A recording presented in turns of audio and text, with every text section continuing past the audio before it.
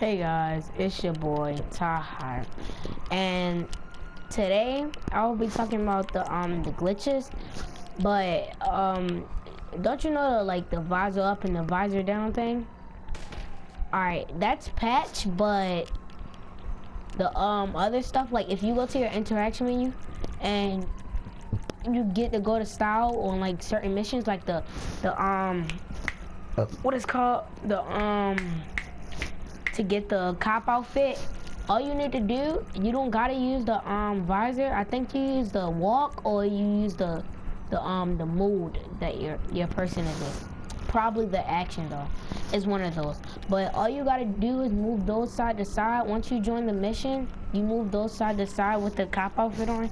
And then once you got the cop outfit on you um what? I dang forgot Oh, once you move the, the thing side to side, um, you sit there for a second. Once you sit there for a second, you should have an outfit. And once you, like, once they make you leave and, like, you too idle, they'll, like, give you the outfit.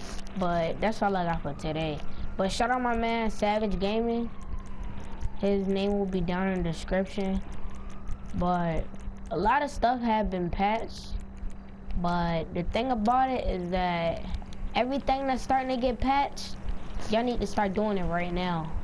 Because don't you know, my last glitch, that might get patched too. So y'all better do it as fast as y'all can. And try to help me to get to 30 subscribers. Like, I really need that. I really do. Like, I've been trying to, like, post some videos for y'all. But I, I try to, like, do some opinions that y'all pick for me. But Peace, guys. Let's get it, man. Let's go.